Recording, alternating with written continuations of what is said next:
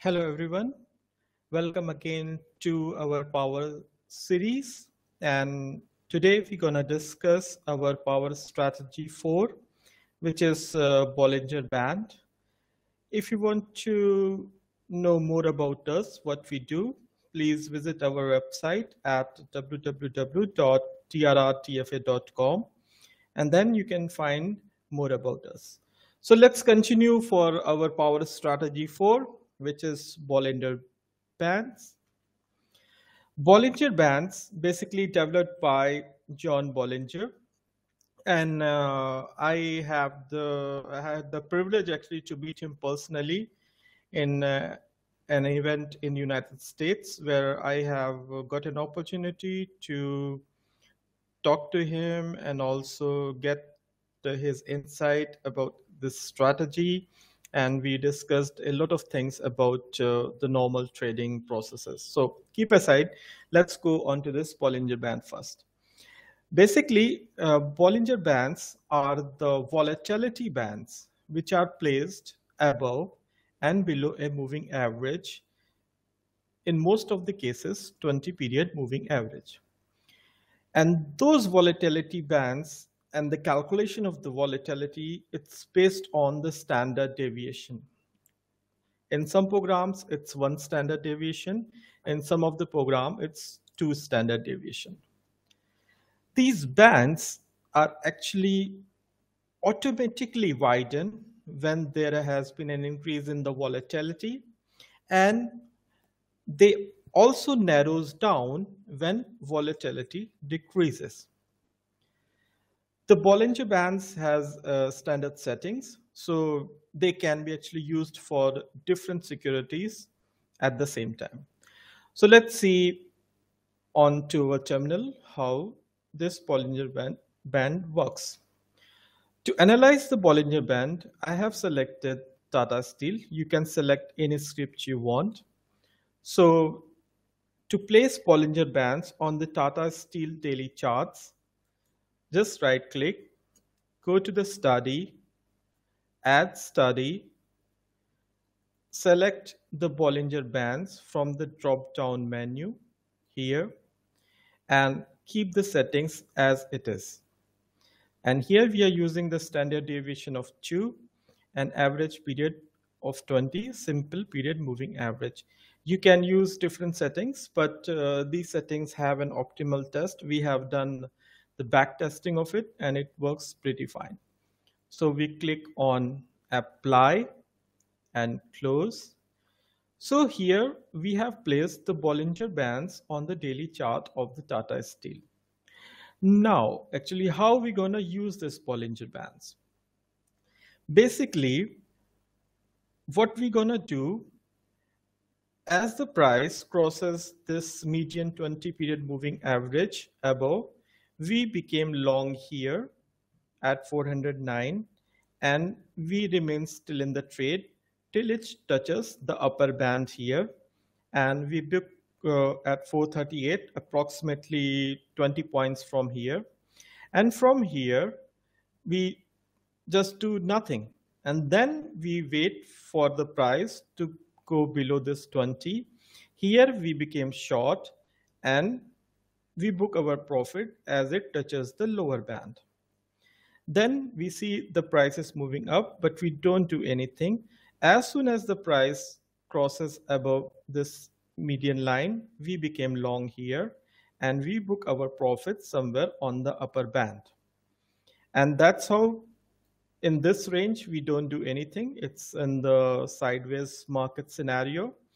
And as soon as the price crosses uh, this line here, you see the Bollinger Band uh, contracts means there is a decrease in the volatility values. So we again wait here, we became short here and we book our profits on the lower band. Here we became long here, book our profits at the lower target of the upper band of the Bollinger. Here we became short and booked our profits at the lower target band. So, and accordingly, long and short, vice versa. Here, uh, the important thing for you to understand, not to be in any case trapped within the sideways markets like here or like here, you can have a very smooth trend from the lower band to the upper band for the long and from the upper band to the lower band for the short and then again from the lower band to the upper band for the long. Book your profit targets here because you see afterwards it's not uh, it's just the sideways market.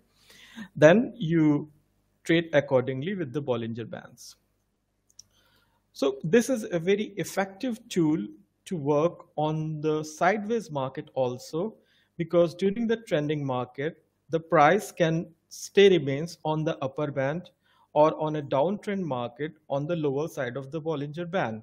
But if you are trading for an intraday or for the short swing or the long swing, then you can use the Bollinger Bands, the upper and the lower as per your trading style, and then you can make good profits in the sideways markets also. Here we are only considering for uh, the long-term trades. That's why I propose you to look for the long opportunities from the median line above and the short opportunities from the median line below. But it depends upon trader's style, trader's mindset, how they're going to use the Bollinger Bands.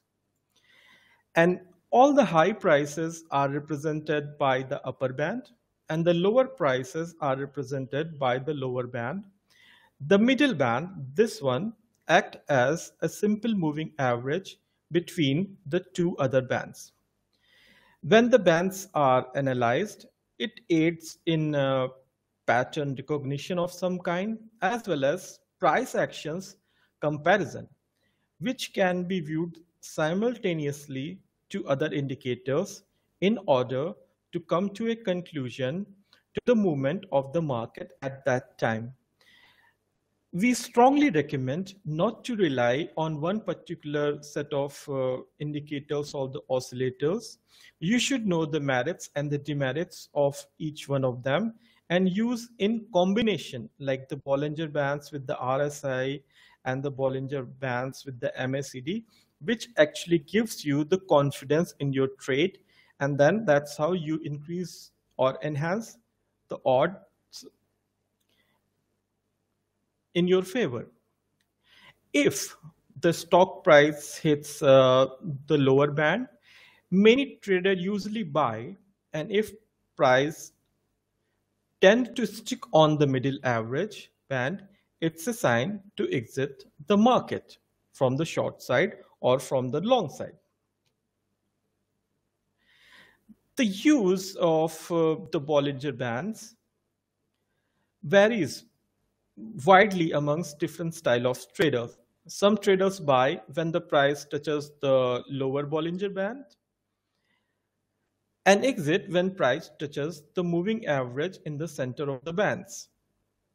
Other traders buy when price breaks above the upper Bollinger Band, like here, and sell when price falls below the lower Bollinger Band here when actually the band lies close together as here, a period of low volatility in that particular script is indicated. And when they are far apart, as the case here, it indicates a high volatility price.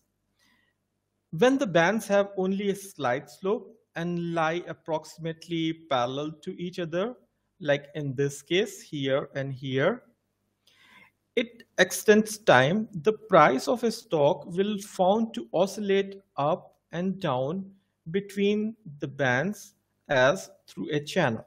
So the price go up, go down, go up, go down, go up, go down. It's form a channel pattern when both these bands are parallel in nature.